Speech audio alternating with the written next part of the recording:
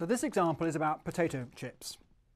It's designed for thermodynamics classes and the topic is the first law of thermodynamics. And we suggest you take some bags of crisps or a large bag like this into class and share them with the students. I think you'll soon have their attention if you do that. And then ask the students working in pairs to estimate the amount of energy in the chip they're about to eat. And there's some data on the side of most chip packets that will help them with that process.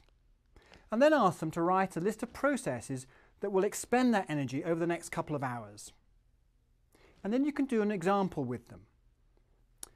For a student sitting motionless, calculate the energy required for their physiological processes.